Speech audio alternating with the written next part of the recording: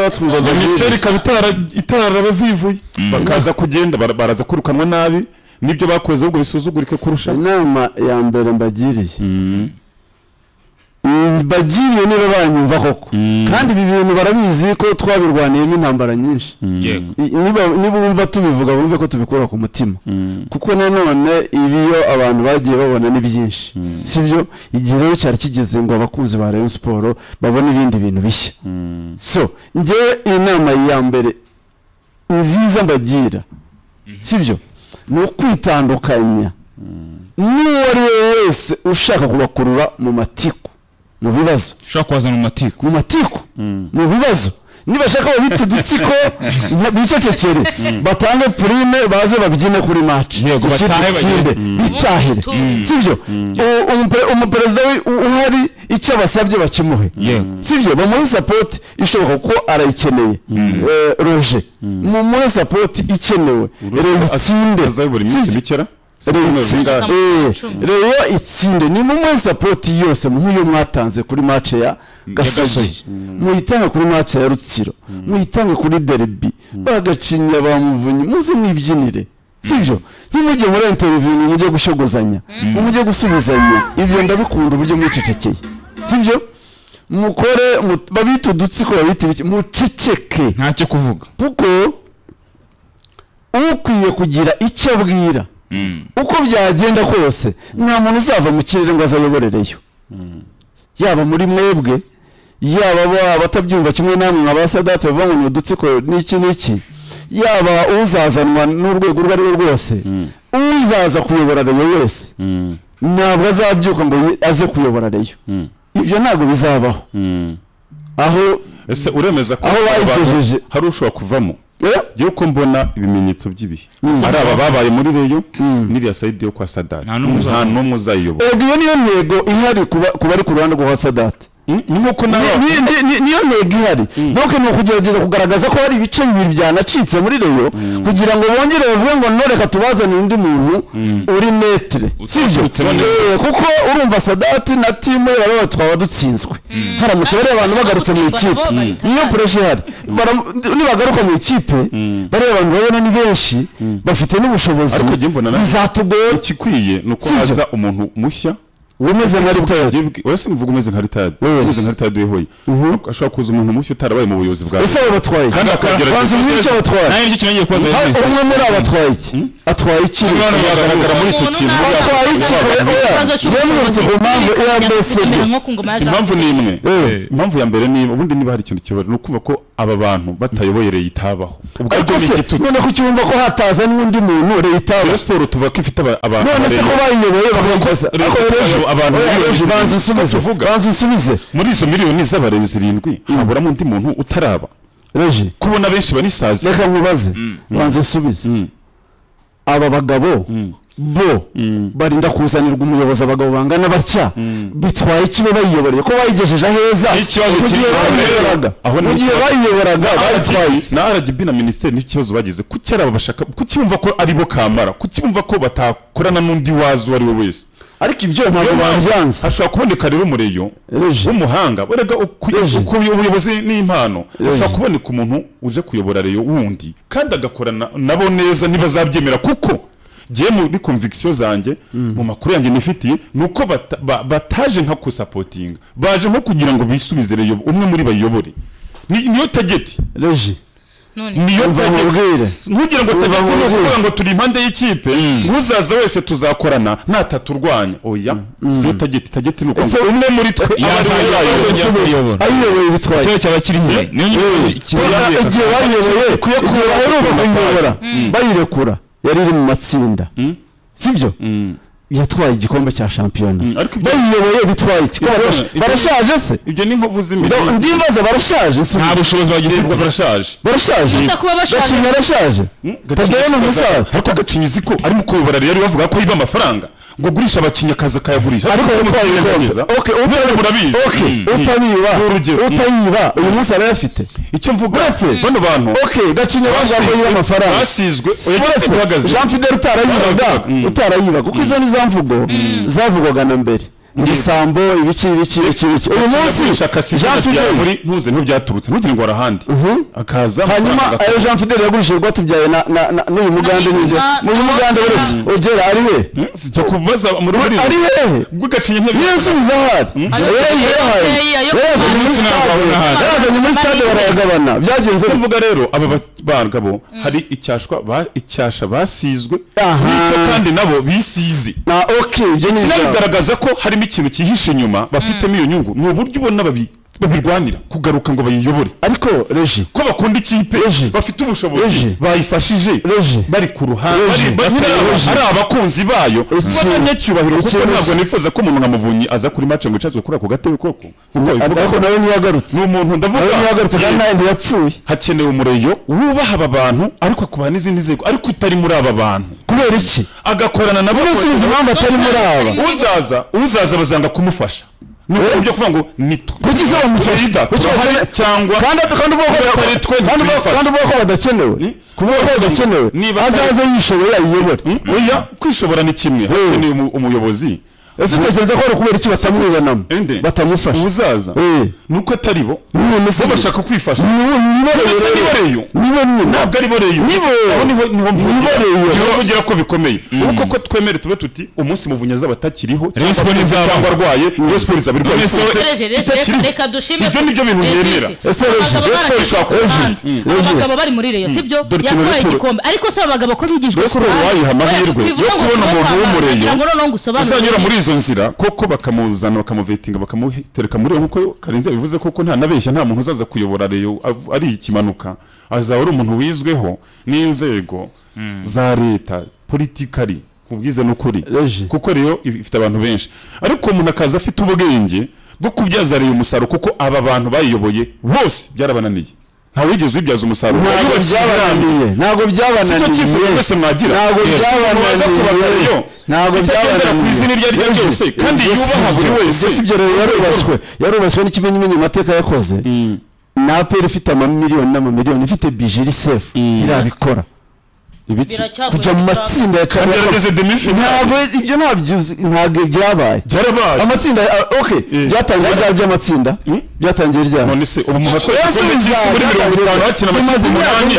ntugitwara ari mirongo itatu n'ane bazavuga ngo ntabwo ari igikombe cy'isi aperi ntiyakina amatsinda. Kuva atangiye yarenze ku rwego atangiye. rw'amatsinda ageze kimwe cya kabiri kirangiza bibiri na gatatu. hashize imyaka makumyabiri n'umwe. Mm, hari icyo se byari amateka ntabwo asibana nyine Ntabwo- kwitabikora uyu munsi. Kwitabikora uyu munsi. Kandi ufite ubushobozi. Nyine ntabyikora ubwo biri muri byarabinaniye ntabwo ibyanze. Nuko iboneka rimwe. Muri icyo gihe cyose y'imyaka mirongo Oh, mirongo ariko- itandatu ntabwo yari yaragiye. iyo ukomeza gutya se uzi yari kubigeze?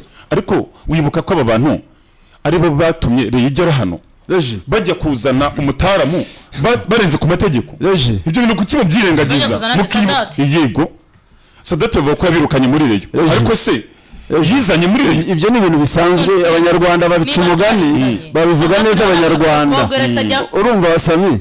Abanyarwanda baca umugani ngo akamasa kazaca inka. Kazivukamo. Sibyo Kazi- ubwa- ubwazo mo imbere. Sibyo ntabwo ibyabaye kuri reyo biturutse kuri sadate byari ubushake bw'abareyo wari umupangu bateguye. Ubwo iyo rivugiye hano ngo yahembaga ngo yahembaga ikipe ya muvunyi yazaje abereka ko ari umuntu ukunze ikipe. Aritanga atangaza um, imishahara akora za rekiritema atanga za prime. Abantu babona umu- umu- umujene. Sibyo nk'ibyo uvuga. Ukunze ikipe ufite ubushake. Muri esipuri y'abareyo Kuko arasaza ikipe nta structure ifite. Umuntu wese ashobora rata muri esipuri mu muryango wabo nk'uko ubabona hariya bicaraga. Ariko ni ninde? Uri tayari. Ntabwo barwaniraga ubuyobozi barebagamo umuntu uri tayari. Ukunze ikipe. Uretse umusozereje bakamushyira imbere. Sibyo? Yeah. akabayobora. Sibyo? Ni muri iyo esipuri bicaye. Babona sadati ububyutse afite. Imbaraga afite imishinga bereka imishinga bereka mu nyungu z'ikipe. Yarabicaza arabereka arabereka aravuga ati jyewe ikipe apari y'ibi nkora byo gutanga za prime byo gutanga imishahara sibyo? Mfite ubushobozi bwo gukora imishinga abcd ekipe ya rayon sport ikabona miliyoni mirongo itandatu buri kwezi. Sibyo? Muvunyi ubwo yaravuze ati sadati tara wa mwana we. Ibitekerezo ufite ntabwo tukugora. Reka mirongo itandatu. Rayon Sport uko imeze uyu munsi. Ushoboye kuyinjiriza izo miliyoni mirongo itatu buri kwezi. None se urashaka Sibyo? ko reyo ngo iba ari igaruka aho karenzi azajya abyuka gutya? Yaba yiboneye miliyoni rero bakavuga ati muyimenye iyobore none se. Nibyo mushaka Rero siporo imara imyaka itanu nta gikombe uretse uretse Rero Samir siporo imara imyaka Samir, itanu nta dore rero mwibarize regisi icyifuzo iyo cyane. ukeneye iyo ukeneye. Ni ni inama ibera muri rgb na minisiteri ya siporo bagahitamo umuntu akaza kubayobora. Niyo ukeneye ariko si nkeneye nanone rero siporo. Eh, yitoranyamo hagati yabo gucukura mu muryango witoranyamo ubayobora. Ah, umuryango rero siporo. dore igihe icyifuzo cyawe wari umuryango kugeza igihe sadate ziye ugasenyuka. Wari umuryango uri sude uri hamwe. umuryango. Yagombye kuba ikipe iri porofeshono no ni umuryango. Na simba. Nawe ni na umuryango simba ni umuryango. Famiye yes. Ni umuryango ufite- mirongo itanu na rimwe ku ijana modeuji akaza nk'umushoramari akagira mirongo ine n'icyenda ku ijana. Impamvu bamuha mirongo ine n'icyenda ku ijana. Icyo bisobanuye? Ayo mafaranga yose uzazana. Ntufite uburenganzira bwo kutwambura ibyo ni ikipe y'amategeko n'ishoramari kuko icyifuzo cyanjye. Hmm. icyifuzo cyanjye ni kimwe. Ku bijyanye n'imiyoborere ya reyo wenda mu bazatora biramutse bibaye. Ari nkanjye uko nakwifuriza reyo nakwifuza reyo siporo igira umuyobozi wagerageza kumva no kumvwa n'abantu bose babaye muri reyo siporo ariko utandukanye n'aba ngaba basa nkaho hari ikintu bokejemo baribwaribwa ngo tuzaza reji noneho umva icyo cyifuzo. Arimo arambera mushya uretse mbanze mbwira icyifuzo baje kwiba Cya- kundi ritadi yaje avuga ko harimo amafaranga abantu bakiriyemo ariko nagusobanuriye ko amafaranga atari cyo kintu baje kwibamo. kuko ntabwo bahombeye muri reyo. Ntabwo ahantu wahombeye uza wirukanka ngo hano hari ahahombeye reka nsubire barayikunda agaciro Reji, yabo, ari Reji, ikipe bakunda. n'ahantu bipfira. Akandi ahantu rero- byapfiriye ni aho ngaho. Aho umuntu aturuka from nowhere ataba mu mupira. Ikipe. umupira akaza ngo aje kuyobora ikipe. Ubu abantu bakunda umupira tubazi mu mupira ubuzima bwabo Icyo bwose. ntabwo ukwiye kwibaza ku mpamvu bashaka kuza mu mupira kuko na umupira barimo. RGB na minisiteri niba zizongera gushaka umuntu uza kuyobora reyo ni byo bazihangana ndavuga niba ari izo kuko ibyo bintu hari biru- birusha ingufu. Nta nubwo birusha ingufu bakwiye nanjye simbyifuza ntabwo ukwiye kubishyigikira oya simbishyigikiye hakagombye kuba umuntu uzaza kuyobora Rayon Sport akaba ari umuntu bano bantu bazubaha bakemera gukorana nawe bakamushyigikira. Ntibamugire ishyamba ngo ntitwamuhango kuko atari uwacu. Akaba ari umuntu nawe uzabubaha akabagena ibyubahiro bagenerwa ubusa bagombwa n'amateka bagize muri Rayon Sport mu kazi bakoreyemo. Ariko akaba ari n'umuntu ugomba gukora Rayon Sport ku rwego rumwe ikajya ku rundi. Ikaba ari ikipe yagira ubutunzi ikihaza ku buryo ejo bundi umuntu atazajya aza ngo kuko afite amafaranga ngo Rayon Sport ayikuramo ibyo ashatse. Ngo nari mfite miliyoni ijana zanjye mu ubuse mpe- ubuse Rayon Sport. moda ugi ko abifite Hmm? ko abikoramo ibyo ashatse. Nuko afite amafaranga menshi. Ariko ntabwo ari amafaranga atari na projet. Kuko mode ujya aracuruza Rayon Sport acuruza. Ni nkiriya nanjye mvuga rero. Mbe simba. Rayon Sport yacuruza ikunguka ikabona amafaranga yayo. We nsobanurira umwe kuri umwe muri aba. Kuko ni cyo uteme- tutemeranya. Sobanurira uti afite ubu busembwa inde? Ubwira uti ok. Mwe muri bano bagabo. Reka dufate Ubusembwa. Ubusembwa bose bahuriyeho basangiye. Nuko Rayon Sport ari hibagerana hahandi hehe muri bya bibazo mu matsinda oya Eh. muri bya bibazo twahoze tuba byaragimira hehe kuba byara kuko nibo bayijyanye Mu matsinda. Abantu bavuga nibo ko ni- bayijyanye cyangwa Ni ni ni Sadati. sadati Ntabwo abandi bo Sadati. bajyanye Eh, Rayon Sport ntabwo byaragiye. Sadati wayijyanye yo. Sadati ni we kugira ngo niba wanditse. Ngarambe Charles yanditse Sadati Kandi ni we nzi wanditse. neza. Ngarambe yanditse Ngarambe na- na interview ndacyayifite ku Ngarambe mashini. yanditse iki? Ngarambe Charles Ngarambe yagiye Tumaze kwandika. kubaza ngo Ngarambe ni izina yagiye rimwe. kwandika. buriya izina rimwe Ngarambe ninde yagiye wajyanye kwandika. Rayon Ngarambe Sport yagiye RGB? kwandika bigeze iyi ni Ngarambe wayijyanye hanyuma wayijyanye kwa Yananiwe perezida no hanyuma gutegura inteko uwanditse rusange. ibaruwa ayandikira umukuru Bananiwe no w'igihugu gutegura inteko wayijyanye rusange. Mm. uretse wayijyanye kwa perezida ninde Mm, uretse ko mwambajije muri RGB RGB yajyanyweyo kandi ni ho yagiye imbere kugira ngo ibibazo bikurikirane neza. Rayon Sport yari isanzweyo Eh? yari umuryango ubaruye wanditse muri RGB ntabwo nta muntu wayijyanyeyo plaît Oya. Rayon Sport yari muri RGB ibaruwa muzakurikirana muyibone. Ubu ni ibaruwa iki? Ibaruwa ya kare- yasabaga ese kare wowe bigutwaye iki? Adamutse twamwinjiriye? Amasaha wowe n'undi muntu utari muri aba ariko ushobora guhuza n'abantu. bose. bigutwaye iki? Tadeyo mbwira ubusembwa Tadeyo afite ayiyoboye. Yarayoboye nagende ibyo atakoze ubu Yayoboye ntabi. ryari?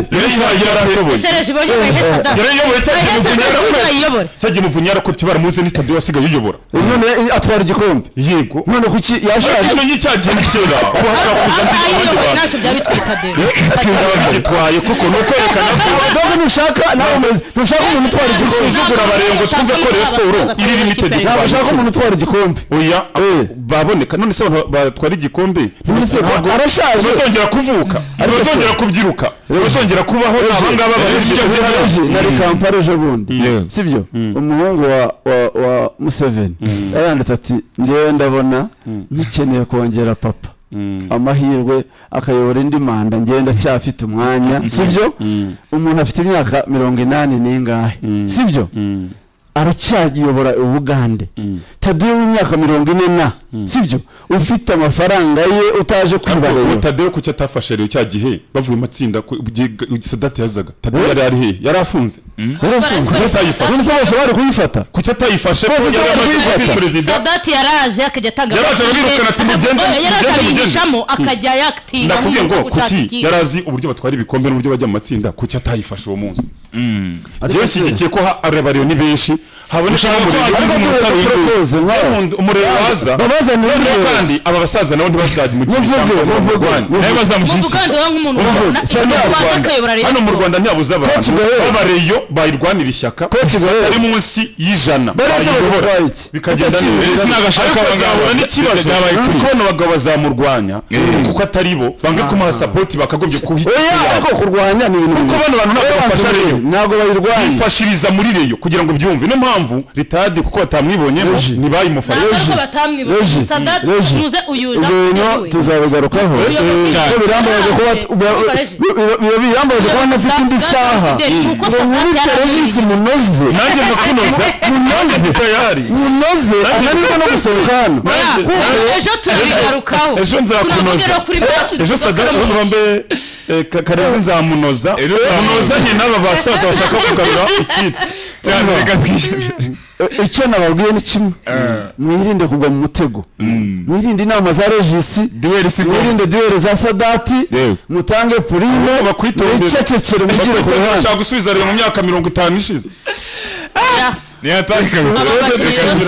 Ntabwo dushimira na global ikomeje gufasha abantu kujya hanze muhamagare ino nimero mujye canada kwiga gutura gu- na za amerika i buraya hose. Karindwi icyenda inani icyenda karindwi ebyiri. Gatatu gatanu kane. Hamwe na skol laga inzoga ya sportif bakoze cyane kandi umufatanyabikorwa mukuru wacu ari we ford bet akadomo rawa Mm, cyane kabisa wakoze cyane kuko twabanye hose kuva ku isaha isaha ine kujya ku isaha. Y'isaa saba zimaze kurenga iminota ine hagize dj adamu muri the launch shower tuzasubire ku munsi w'ejo mukomeze kugira umugoroba mwiza cyane.